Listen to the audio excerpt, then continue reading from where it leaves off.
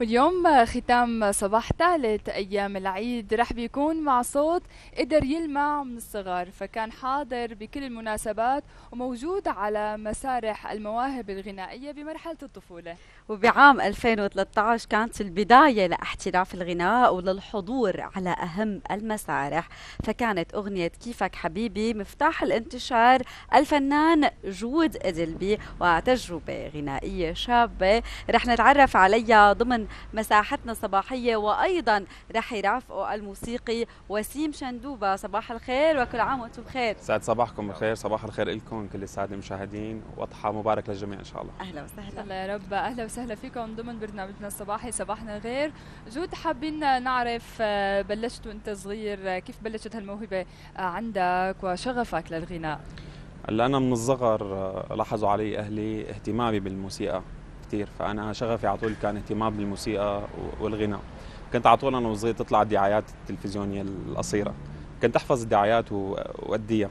فلاحظوا علي إنه في اهتمام عندي بالغناء. وبهالمرحلة الطفولة كنت على طول انتهز الفرصة لحتى أشارك بأي مناسبة إن كانت ميلاد أو غيرها للعائلة للمقربين. وخلال مرحلة الطفولة بتذكر لا شاركت كمان بمسرحية اسمها أهل الطفولة لهلا أديت فيها مقاطع شهيرة. كمان كنت ماشي بالمشوار بالمراحل الدراسية كافة المرحله الابتدائيه والإعدادية كنت على طول شارك بالأنشطة الطلابية ورحلات ترفيهية وأدي الأغاني لزملائي والحمد لله لقيت تشجيع منهم ومن كل المحيط حوالي يقولوا لي لازم أنت تكمل وتعمل شيء فطول هالفترة الدراسية كنت عم حاول أظهر موهبتي بأي شكل كان بأي ملتقى أي بأي يعني بأي بأي فينا نقول آه، يعني بأي حالة تتطلب إني أقدم موهبتي. تماما. شو بدنا نسمع جود هلأ هيك كبداية؟ يلا بنسمع كيفك حبيبي. إيه تفضل. يلا. يلا.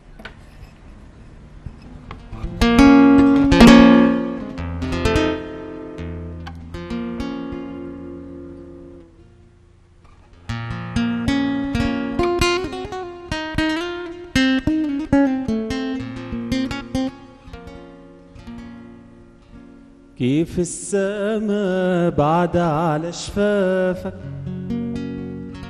بعد القمر بينام على كتافك بعد الشمس بتبوس طرافك بعدك نائم أصل متل شامك كيفك حبيبي؟ كيفك حبيبي؟ كيفك حبيبي؟ كيف؟ ايامك بعدك لهلأ متل مكاين بعد الطفل نظرتك باين.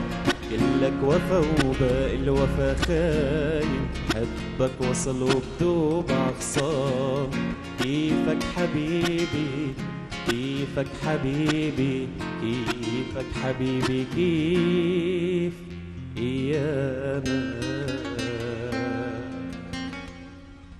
شكرا وسيم ويسلم هالصوت جود آه يعني كيفك حبيبي كانت البداية؟ آه لانطلاقتك خبرنا عنها شوي هالغنية كيف اخترتها ومين ساعدك فيها ومين لحنها ومين كتب كلماتها؟ هلا بعد المرحلة الدراسية الجامعية أنا حبيت إني كمل هالمجال لكن مو بس تقديم موهبة باحتراف. كنت عم حاول على طول ادور على سنجل أظهر فيه للناس وأقدم موهبتي بس بشكل احترافي. فصديقي الموزع الموسيقي تامر الزين بوجه له تحية سمعني كلام ولحن كيفك حبيبي؟ كلمات وألحان أستاذ محمود إدريس. فأول ما سمعتها حبيتها جدا وحبيت لقيت حالي فيها. فعلى طول سجلتها بوقت قصير وطرحتها بال 2013 والحمد لله لقيت صدى كثير إيجابي وحلو رغم الظروف الصعبه اللي كانت عم تمر فيها البلد. لكن الحمد لله لقيت صدى إيجابي جيد جدا. كمان أخذتها كذا جهة ميديا. وأخذوها كذا راديو كمان. وبنفس الوقت آه، نزلت على طبعات خارج آه، سوريا توزعت بلبنان وبمصر. فكانت كبداية الحمد لله شيء يعني إيجابية جدا جدا. الحمد لله. يعني وش خير علي مثل ما بيقولوا. الحمد لله. تمام. رح ننتقل لك وسيم. وعم نشوفك هيك عم ترافق صوته لجود آه، باللحن الرايق الناعم. كيف يعني كيف بديت أنت وجود وكيف انسجمت معه دائما الموسيقي؟ لازم يكون في بين الصوت تبع المطرب وبينه في انسجام روحي ليقدر هو يعطيه اللحن على حسب التون آه، تبع صوته. تحكي لنا شوي؟ هلأ أول شيء جود من الناس اللي آه، عندهم طموح. الطموح هذا هو اللي شجعني إني أستمر. تستمر معه. تماما. ودائما أنت مرافقه بكل مثلا إيه بأغلب إيفنتاته أو حفلاته إيه أو بأغلب الحفلات. تمام تمام. آه، جود من بعد كيفك حبيبي آه، وين صرت؟ آه، كيف كملت هالمشوار؟ بعد كيفك حبيبي انفتح لي المجال إني شارك ب بمجال الاحتراف على مستوى حفلات كبيرة ومهرجانات فشاركت بالعديد من المهرجانات. كان أهمها مهرجان أفراح سوريا. آه، مهرجان أفراح سوريا كان هو آه، شيء إيجابي جدا بالنسبة لي كونه كان هذا المهرجان بيسلط الضوء على المواهب الشابة. فقدرت من خلاله أقدم موهبتي آه، وتجاوز المرحلتين تبعه. كان هو مرحلة أولية ومرحلة متقدمة. فكان هذا المهرجان إيجابي جدا نحن للمواهب الشابة طالعه إنه سلطوا الضوء على كل شاب بموهبته. شو هو بيتميز نعم. شو موهبته؟ فأنا كنت عن فئة الأغنية الشبابية السريعة والحمد لله تجاوزتهم بنجاح آه، المرحلتين الحمد لله. إن شاء الله دائما بتتجاوز جميع المراحل بنجاح. كان لك وقفة لأغنية وطنية يمكن آه، كانت ضمن هيدي الفترة. آه، تسمعنا شيء يلا. أوكي.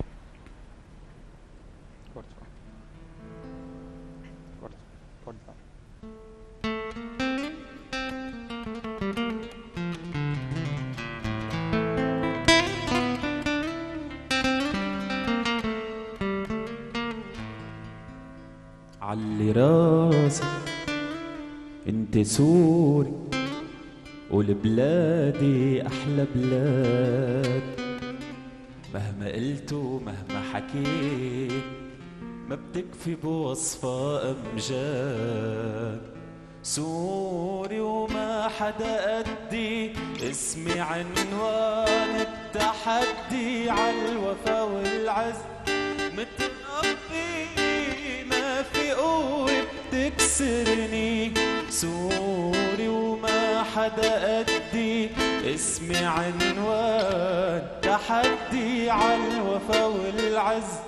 متربي ما في قوة بتكسرني دم رجالك عصمة بطالك شمس عنك ما غابت سوريا بقيت سوريا رجعت أحلى ومثل ما كانت سوري وما حدا قدي اسمي عنوان. تحدي عالوفا والعز. متربي ما في قوة تكسرني. علي راسك.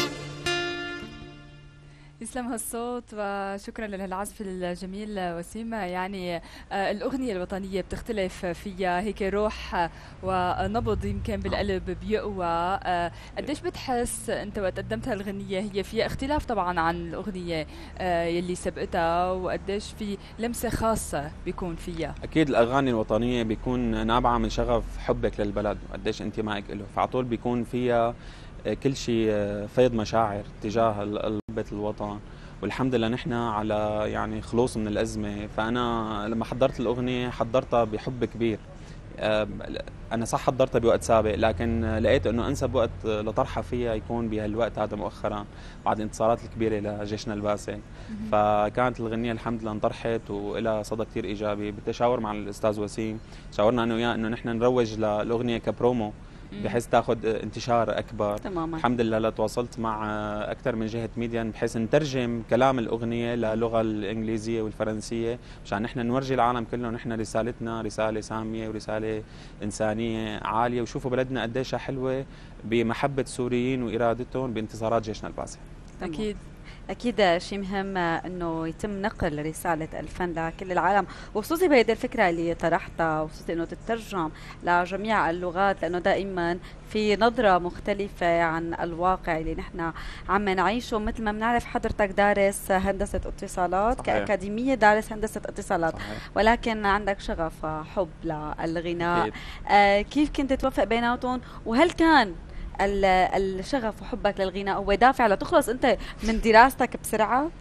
يعني فيك تقولي هيك شيء. فأنا ب... ب- لما وصلت المرحلة الجامعية فكنت حابب أدرس موسيقى. فأهلي قالوا لي لا اعمل شهادة وأنت خليك ماشي من المسار الموسيقي كيف ما بتحب. فأنا ما عارضتهم. أخذت شهادة عليا الحمد لله وبنفس الوقت وازنت بالمسار الموسيقي فانتسبت لفرقة الجامعة الموسيقية وتم قبولي كفوكال للجامعة مغني للجامعة. كان هذا الشيء كثير إيجابي لي وعملت. حفلات باسم الجامعة داخل الجامعة وخارج الجامعة. فأنا الموهبة وازيت فيها المجال الدراسي ما ما بترك موهبتي ابدا بالعكس بحب على طول أقدم أحسن ما عندي. إن كنت مرحلة ال- ال- ال- صقل الموهبة وبدايه طريقي أو هلأ بمرحلة الاحتراف أقدم أفضل ما عندي.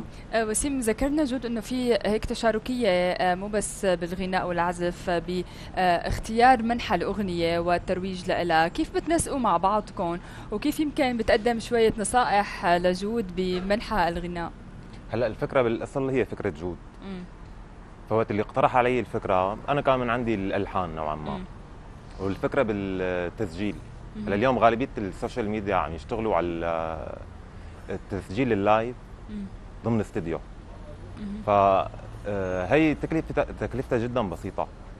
فقلت له أنا بما أنها غنية وطنية ومشان تاخذ عليها نتيجة يعني اليوم غالب الأغاني اللي عم تتسجل ما عم تاخذ rate جيد. صح. هذا من آه، ضعف التسجيل ضعف الإمكانيات المادية لبعض المطربين. فقلت له إذا تكلفت عليها وطلعت شيء آه،. جيد تماما يعني إنه مم. ممكن نستفيد منها. تمام. يعني بدنا نصبح على كل مشاهدينا اللي هلأ عم يسمعوا صوتك وعم يسمعوا أيضا الألحان الجميلة. شو بدك تصبحي عليهم؟ غنية تبع يلا بنغني. فورا. يلا. كورت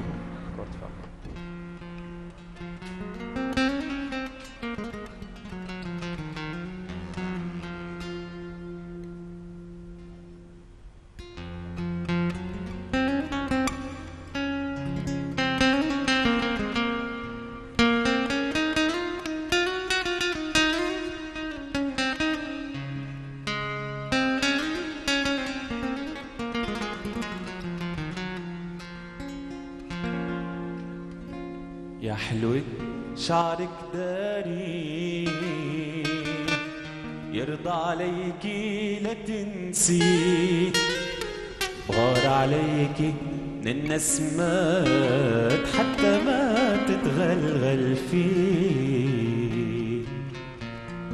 يا حلوة شعرك داري. يرضى عليكي لا تنسي. بغار عليكي من النسمات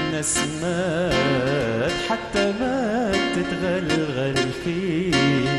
يلي شعرك شلالات يحكي لي الهوى حكايات وبقلبي زادوا القهات شفتي قلبي ومرحمتي بغار عليك من النسمات حتى ما تتغلغل فيه. يسلم هالصوت. شكرا كثير لك. يمكن هدول الاغاني القديمة أو آه، الكلاسيكية آه، بضل لها هيك شيء بقلبنا وبذاكرتنا وما بتبطل قد ما طلع صيحات هيك جديدة وأغاني هيك يعني اريج هلأ نازل شغلات جديدة كثير على الساحة يعني. شوي هيك فيها دروبات عالية. وقصص. إيه فالأغاني الكلاسيكية شو رأيك فيها؟ أكيد بضل رائعة. ونحن كمان بدنا نسمع أغنية كمان منكم بختام حوارنا لليوم. لكن يعني يجود اليوم في مواهب شابة عم تكون في إبداع بصوتها وفن رائع وخاصة المواهب السورية. اليوم لشو بحاجة هالمواهب؟ أكيد لحتى تستمر وتنتشر بشكل أكبر. هلا أي موهبة شابه بحاجة على طول لصقل. بحاجة على طول لدعم موسيقي ملحوظ. فبيكون في له تحضير جيد موسيقيا كمان تحضير لصوته تسجيل أغاني مميزة له كسنجل. وأهم نقطة الخطوة الثانية هي الدعم التسويقي له يعني أي موهبة بدون تسليط الضوء عليها ودعم لها ما بتستمر. مم. لازم يكون في خطوة ثانية هي الدعم التسويقي اللي هو أهم من المرحلة الأولى لحتى يقدر هالصوت ينتشر ينسمع للناس كلها. فعلى طول أي موهبة مثل مثل اي مثل اي, أي شيء بالحياة كل ما بتستقليها أكثر بتتعبي عليها أكثر كل ما تظهر أكثر وما شاء الله يعني بلدنا نحن مليئة جدا بالخامات والمواهب إن كان على مستوى الكلام أو مستوى الشعر وتلحين موسيقيين فعلى طول نحن بنلتقى بشباب حابين يقدموا موهبتهم ويقدموا أفضل ما عندهم. أنا من حوالي شهر ملحن أغنية لشاب عمره 16 سنة. حلو. وعنده كلام عميق جدا بتقولي عمره 50 و60 سنة. يعني سوريا جدا مليئة بالمواهب. فكله عم يجتهد ويحاول يقدم أفضل ما عنده ليقدر يظهر يظهر ويوصل تمام. في تحضيرات هلأ محضرة جود هيك ضمن في مشروع جديد عامله فيك تحكي لنا عنه؟ أكيد إن شاء الله أنا عم بحضر مع الأستاذ وسيم لسنجل جديد قريبا. إن شاء الله حينزل بأول الشتاء. بالإضافة أنا كمان إن شاء الله محضرين شيء على مناسبة حرب تشرين قريبا إن شاء الله. كمان أغنية وطنية. إن شاء الله عندي المشاركة بمهرجان آه، كمان مهرجان الخريف آه، بسوريا وخارج سوريا. وكمان عندي عدد من الحفلات إن شاء الله آه، داخل القطر بالشام وبالمحافظة. نعم. أكيد نحن بدنا نتمنى لك كل التوفيق وقبل ما صباحنا بدنا نسمع أغنية منكم. يلا فورا. عجب صوت. لو شباك. عجب صوت. لو شباك.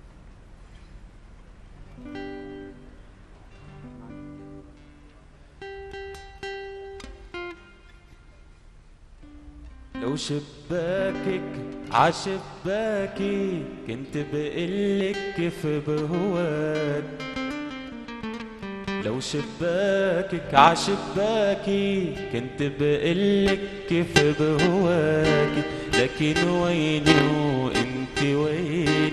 في مسافة بيني وبينك لكن ويني وانت وينك؟ في مسافة بيني وبينك لا عيني عم تلمح عينك ولا بحرك. بطال شباكي لو شباكك عشباك غربنا ويا قلبي كفاية. هالغربة صار بدها نهاية وإن ما جيت لعندك جاي ما فيك تعيشي بلاي ولا أنا عايش بلاكي لو شباكك عشباكي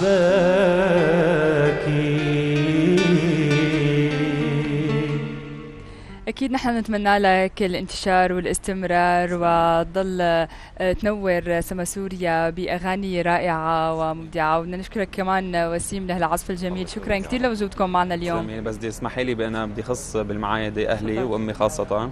وجه لها تحية بقول لك عمتي بخير. بدي خص بالشكر كمان الأستاذ وسيم وعائلته الكريمة كمان أهله وأولاده.